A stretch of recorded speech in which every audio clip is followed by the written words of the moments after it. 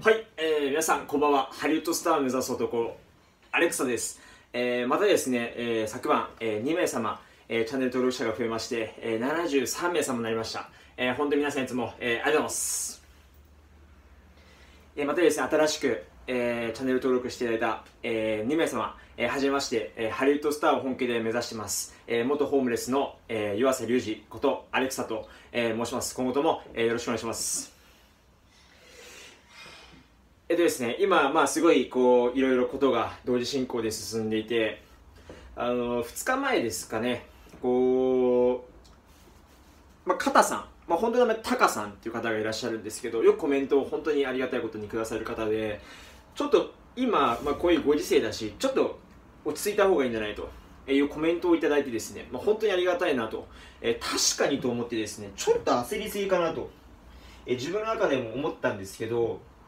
あの焦っては実はなくてこう僕はですねこう何をするにしても一旦一旦こう冷静になろうって自分の中で常に言い聞かせてます。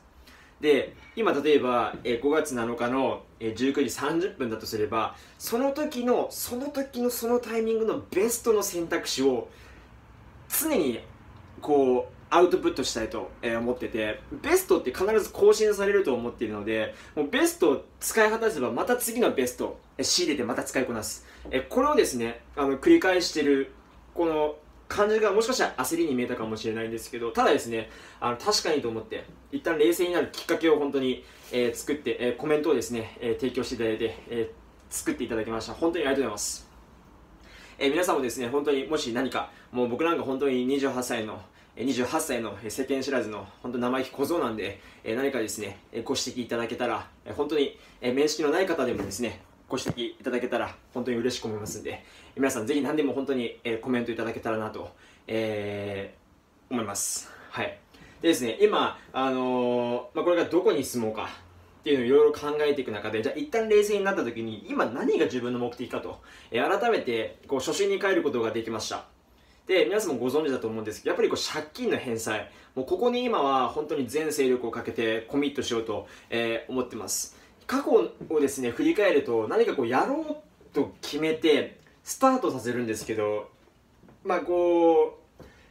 さっきのベストの話じゃないですけど何かこうあもっといい方法があるんじゃないみたいな感じで目的地が変わらなければいいんですけど目的地が変わってしまってなんかこうブレてしまうみたいな。で結果えここどうなってたんだ？みたいな感じでこの借金っていうのもずっとずるずるずるずるずるずる来ててあのー、やっぱり改めて借金返済のために今コミットしようと、えー、思って、えー、ます。で あのあ物件が決まったっていう話なんですけど、えー、昨晩さ昨日ですかね。昨日上げた動画で、まあ、セリ層とか白栄層とか、まあ、いろんな物件があってもう早速今日ですね今朝ゴールデンウィークが明けたんで電話してみたらあのあそこ今誰も住んでませんとか、あの、今もうそういう受け入れをしてませんみたいな、えー、のばっかりで全部こうボツに、えー、なっちゃいました。ただですね一件だけあの連絡があったのが実はシェアハウス、えー、です。で今も、えー、シェアハウスに住んでるんですけどこの2つ何が違うのかっていうとこっちっていうのは、えー、家賃がタダの代わりにクリーニングをするっていうとこなんですよね。でこっちっていうのはえー、家賃が1万8000円の光熱費が5000円2万3000円月かかるけどクリーニングがいらないと。こっちでやってたボランティアのクリーニングがいらない。ってことはこのクリーニングがいらない部分を仕事に当てればこの2万3000円って余裕でペイできるんで借金返済の目的にはずれてない。むしろこっちの方がベターだと。ベターなチョイスだなと、えー、思ってるんであのもちろん、あのー、まあ、昨日挙げてたストイックになるためには本当にもうボロボロのもうお湯も出ないと風呂もない洗濯機もないもうゴキブリめちゃくちゃうわーいるみたいなもうそんなとこに自分を追い込んでやろうともちろんその気持ちもあってそれはただですね時期をずらせっていうだけです。え7月末までに借金を本当に完済しないと丸坊主にするっていうのを皆様と約束しましたんでまずここにコミットしようと思っていてで7月末までぐらいですかね。そのシェアハウスに、えー、住ませていただき、えー、なんか昨日連絡が来てたのはなんか自営自営業をされてる方 5LDK の家に1人で住んでますと。で2階に空き部屋があるんでそこ使ってくださいみたいな感じなんですけど。えそこにですね3ヶ月ぐらい住んで借金をもうバサーって返済してからしてからですねそっからそのオンボロのもう本当になんとかそうもう本当に絵に描いたような、えー、オンボロアパートに住み、えー、自分をですねそっからさらにこうストイックに、えー、行きたいなと、えー、思ってます。もしかしたらそのタイミングで農業に移るかもわかんないんですけどやっぱこのご時世ですねなかなかこうどうなるのかなっていうのがあってちょっと今ですね、えーえー、悩んでますね。どうしようかなと、えー、思ってます。ただいずれにしてももう全て本当に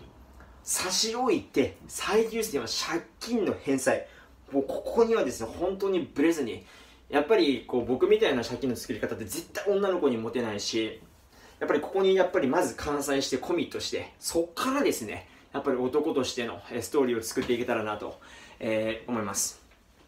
でですね、まあ、冒頭にも触れたんですけどやっぱりもう本当に今ってめちゃくちゃ今自分が必要な情報っていうのを自分でめちゃくちゃ考えてもう情報をめちゃくちゃ知れてます。でそれをですねとにかくインプットしたアウトプットインプットしたアウトプット、えー、していくスタイルをずっと取っているんでこのスピード感というかこのフットワークの軽さっていうのはあのめちゃくちゃ実は、えー、こだわっているとこでも、えー、あります。なんであの